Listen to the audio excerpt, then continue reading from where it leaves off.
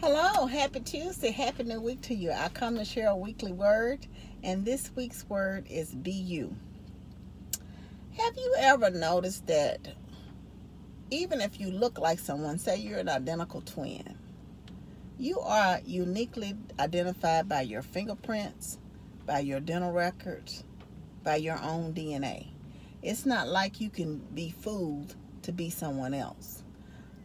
Lets you know that God created us all as individuals for a reason. We all have differences for a reason. We all have something to offer to this world.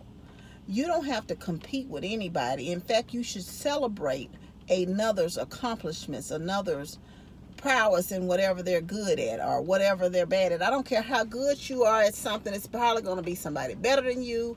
It's probably going to be somebody worse than you in that. But it's going to be something that is just yours, that you stand out at, outstanding, and that you are great at.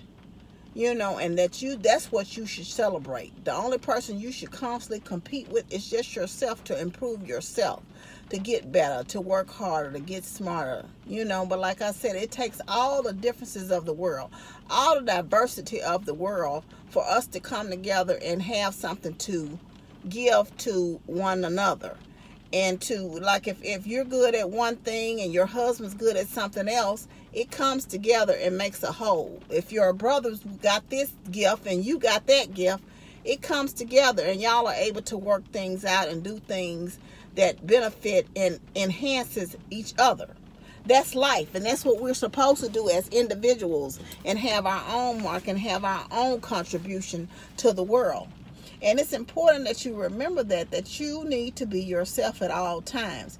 Have your own mind. It's okay if uh, five apples are, you know, like you said, one of these things does not belong. But sometimes it's okay to not belong. It's not, it's okay to not think like everyone else. It's this scene by George S. Patton. If everyone is thinking alike all the time, then someone is not thinking. Because you're going to have different thoughts. You're going to have different things. You're going to have different skills. You're going to have different processes. And I encourage you just to keep on being you. Be your own individual self. Shine where you shine. And remember that uh, celebrate others at where they shine. Remember that you're loved. God loves you the most, and I love you. Remember to always be kind to yourself and others. Be joyful and be blessed.